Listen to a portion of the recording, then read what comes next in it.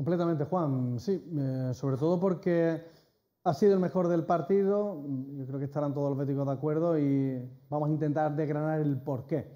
Lo primero porque mentalmente ha estado siempre concentrado, siempre ha pedido el balón y nunca, nunca, pese a recibir bastante falta, ha dejado de tener esa personalidad. El segundo de los aspectos, físicamente, no ha parado de correr, no ha parado de intentarlo, se ha movido por todo el terreno de juego en la fase ofensiva y ha tenido que al final prácticamente que sufrir unos calambres. Y el tercero y el diferencial, la parte técnica, la habilidad, el gesto en el regate y en pedir el balón.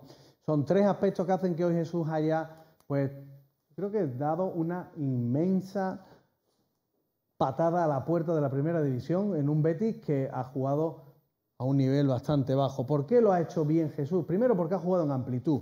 Jugar en amplitud requiere varias características. La primera de ellas es la de pedir el balón bajo presión. Lo ha hecho siempre y no solo ante un adversario, lo ha hecho incluso, lo podrán ver los béticos si no han visto el partido de las repeticiones, entre dos y tres contrarios.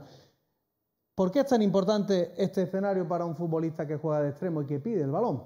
Porque libera a otros compañeros. El tener tres futbolistas al final permite que otros compañeros béticos puedan tener disposición de recibir la pelota.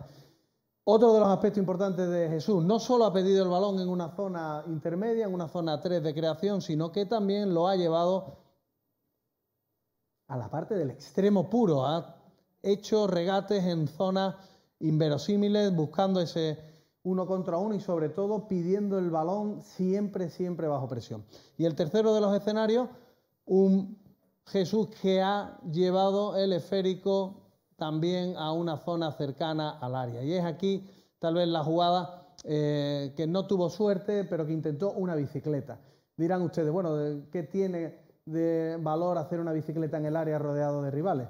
Pues lo decía Pierre en la retransmisión como profesional, lo decían los compañeros, hacer una bicicleta como si estuviese en la plazuela de su pueblo, con la personalidad, disfrutando, intentando lo que otros compañeros no eran capaces ni de vislumbrar, dice mucho de la cantera y dice mucho de este futbolista, Juan. Para mí, que jugase como si estuviese verdaderamente con los amigos, dice de un futbolista de mucho presente y ojalá de mucho futuro. Y hoy es la noticia que queríamos destacar.